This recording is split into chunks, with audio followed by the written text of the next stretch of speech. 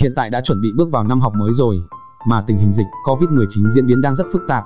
Cho nên nhà trường đang triển khai cho tất cả các em học sinh các cấp học online trên máy tính hoặc điện thoại thông minh và học trên ứng dụng Zoom. Các bạn có thể cài đặt trên máy tính hoặc điện thoại thông minh. Sau đây là cách cài đặt ứng dụng và sử dụng ứng dụng trên máy tính các bạn nhé. Xin mời các bạn cùng xem hết video để biết cách cài đặt và sử dụng ứng dụng nhé các bạn. Đầu tiên các bạn hãy vào trình duyệt website cho mi hoặc trình duyệt cốc cốc. Sau đó các bạn hãy gõ tìm kiếm ứng dụng Zoom hoặc gõ theo đường link trên đây. Và các bạn nhấp vào đường link. Tiếp theo các bạn tải ứng dụng về máy tính.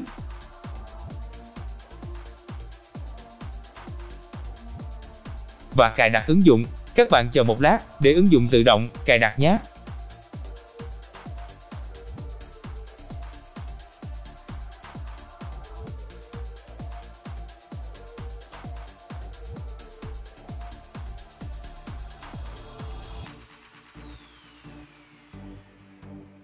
Bây giờ các bạn nhấp vào biểu tượng tham gia.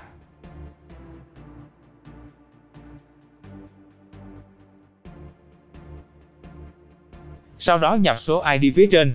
Tiếp theo, nhập tên của mình để giáo viên nhận diện học sinh của mình nhé. Và các bạn nhấn biểu tượng tham gia. Nếu ứng dụng đòi mật khẩu thì các bạn nhập mật khẩu do giáo viên cung cấp. Đây là giao diện mình làm cả cho giáo viên và học sinh.